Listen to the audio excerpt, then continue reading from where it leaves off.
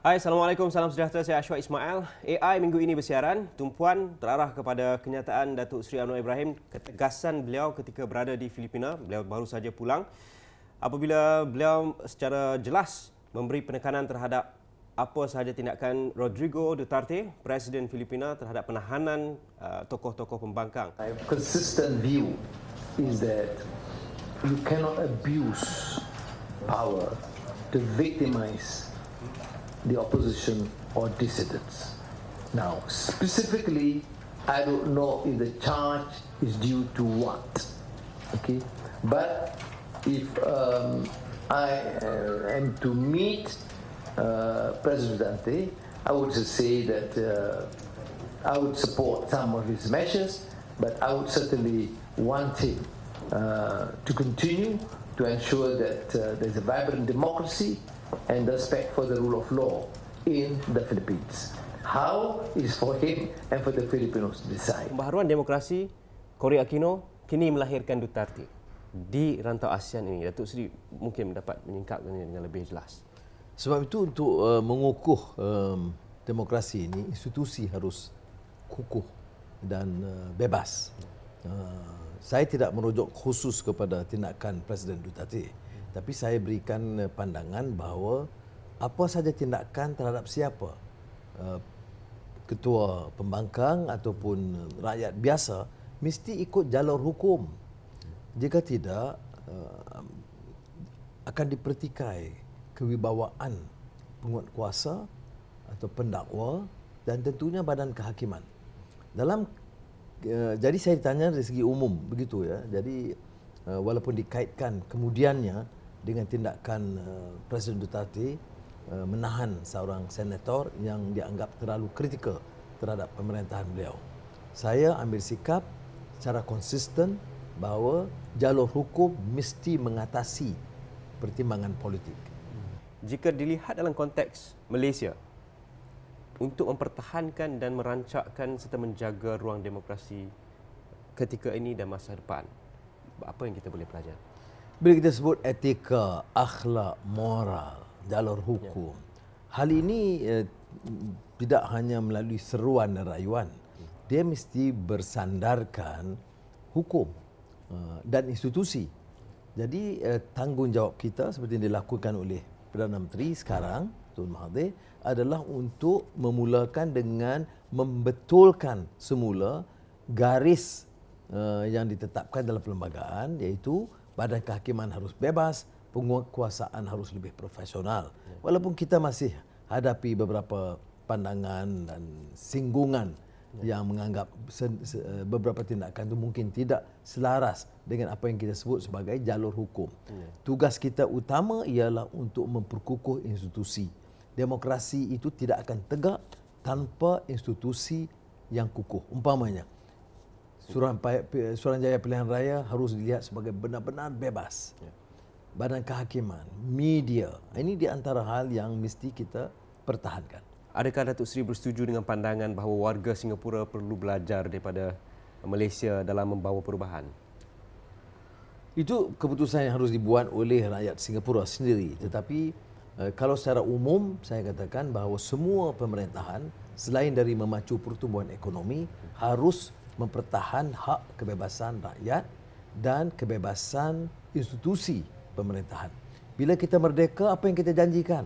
negara yang merdeka dan berdaulat. Yeah. Berdaulat maknanya institusi harus bebas. Dia tidak berdaulat dengan hanya kuasa kepada satu orang, mm, perdana menteri atau presiden atau penguasa. Ini yang harus kita ingat. Dia bukan perkara baru, perkara yang dijanjikan dalam semua uh, perjuangan uh, menentang penjajahan dan menegakkan uh, pemerintahan baru. Okay, isu minggu ini terarah kepada kes uh, Lim Guan Eng yang uh, mencetuskan pelbagai reaksi umum. Itu proses uh, perundangan yang pastinya kita hormati. Tetapi ada yang berpendapat kes ini menyerlahkan uh, seakan realiti sudah tiba masanya dengan pantas harus dilakukan untuk melihat benar-benar pengasingan kuasa itu dilaksanakan uh, Jabatan Peguam Negaranya dan pada masa sama tugas-tugas penawar raya itu bagi mengelak pertindihan dan gangguan daripada Uh, setiap cabang itu? Uh, dari segi fakta, uh, peguam negara ada kuasa untuk menarik balik pendakwaan terutama kalau dianggap pendakwaan itu lemah. Persepsi mungkin berbeza kerana Saudara Inggon Ing itu menteri kanan dalam kerajaan Pakatan Harapan. Jadi pada tahap ini wajar uh, Jabatan Peguam Negara memberi penjelasan agak lebih terperinci hmm. untuk meyakinkan bahawa keputusan mereka itu berdasarkan fakta dan bahawa pendakwaan kes pendakwaan terhadap Guan Ing itu dianggap lemah. Uh, ke, ke, saya tentunya mahu melihat sendiri apa dia penjelasan mereka yang lebih teliti yang menyebabkan hakim bersetuju dengan uh, keputusan pendakwa. Hmm.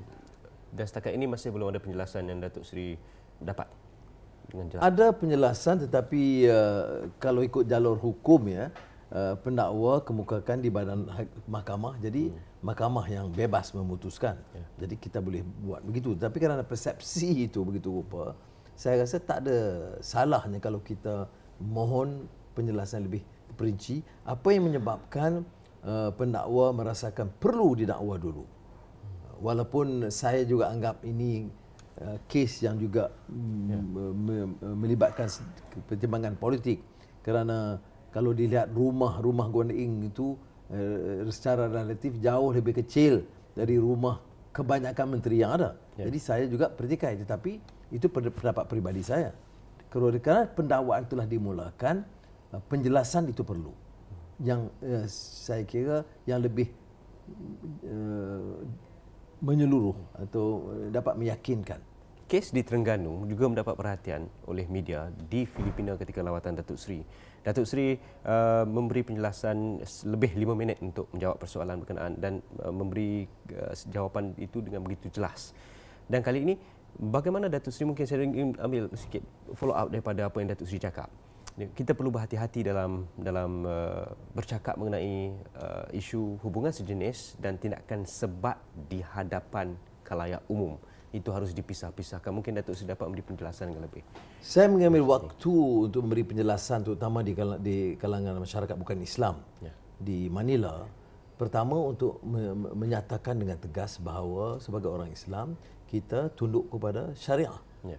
Dan mm, yang yang uh, bagi saya suatu keputusan uh, peraturan syariah yang adil untuk mengawal etika masyarakat.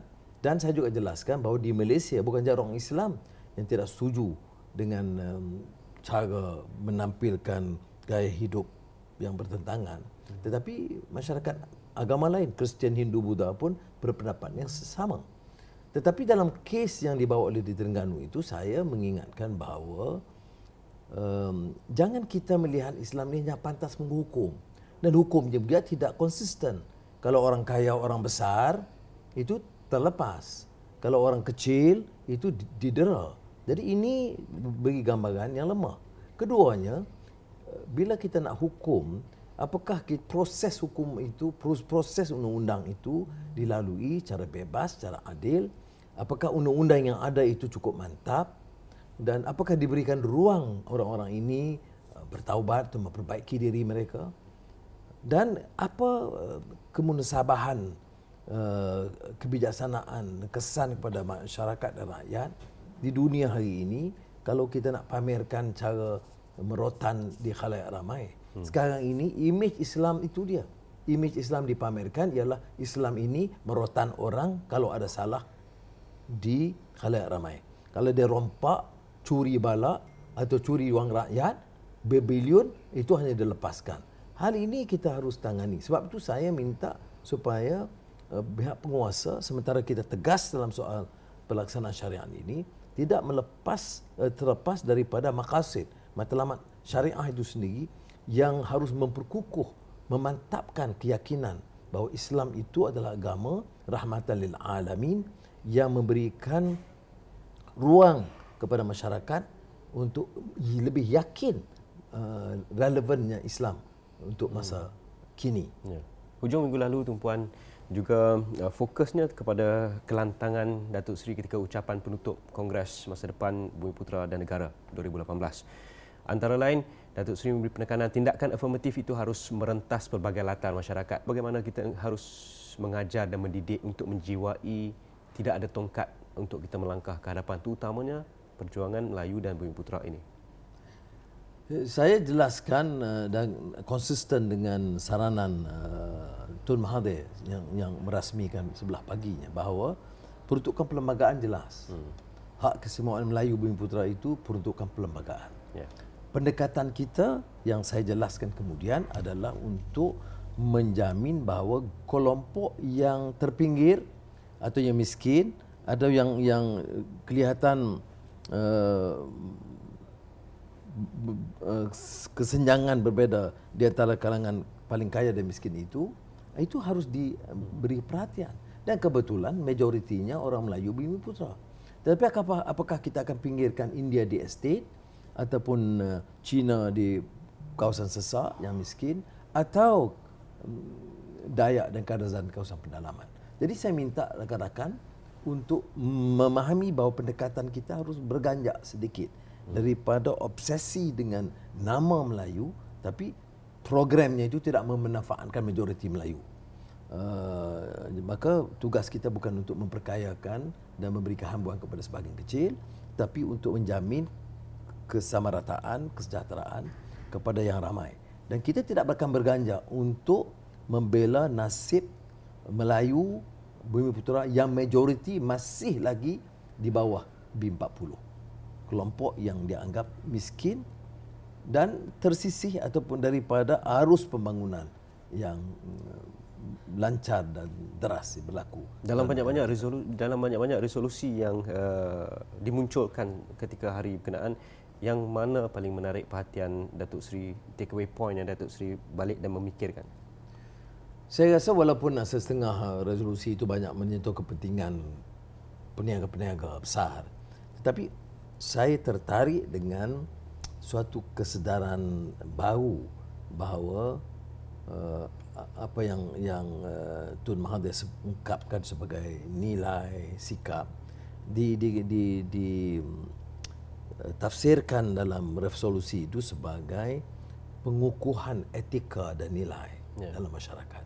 Jadi maknanya uh, habuan dan kemudahan dan sebagainya itu tidak boleh Uh, lari daripada asas uh, pembinaan pribadi dan akhlak dan etika termasuk dalam bidang perniagaan dan perusahaan. Uh, jadi sementara di, di mau didorong untuk uh, membantu terutama bidang pendidikan. Yeah. Kerana mobiliti sosial itu lebih terjamin atau kesihatan agar mereka ini tidak dianggap tersisih daripada arus perubatan moden. Yeah. Tetapi kepeluang-peluang perniagaan itu juga harus lebih menyeluruh. Tapi kepada peniaga juga diperingatkan bahawa asas uh, akhlak, etika harus dipertahankan. Hmm. Okay, terima kasih Datuk Seri untuk AI ini. Terima kasih.